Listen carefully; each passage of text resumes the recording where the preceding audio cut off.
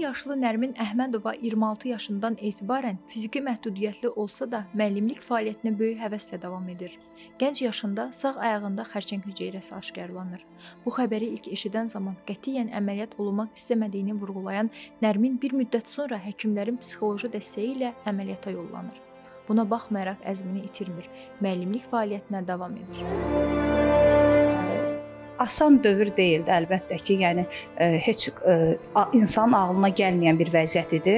Ə, sadəcə olaraq mən güc tapdım özümdə və buna görə də hər gün, hər an Allahıma dua edirəm. Yəni o gücü mənə verdi. Böyük həvəslə fənnini tədris etməsinə əsas səbəb şagirdlərinin bu fənnə olan marağıdır.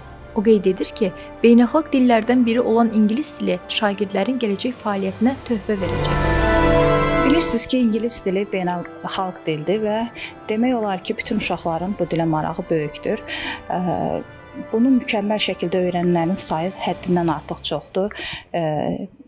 Həm xaricə çıxış üçün, həm xaricdə təhsil almaq üçün şagirdlərimiz böyük maraq göstərirlər və müasir texnologiyanın istifadəsində dünya baxışına, dünyaya baxışın artmasında ingilis dilinin önəmi çox böyükdür və e, yenə də deyirəm, şagirdlər böyük maraqla ingilis dilini öyrənirlər və biz də böyük məmnuniyyətlə bu dili tədris eləyirik. Hazırda fiziki məhdudiyyətli olan yüzlərlə müəllim, şagird, tələbə və müxtəlif ixtisas sahibləri var.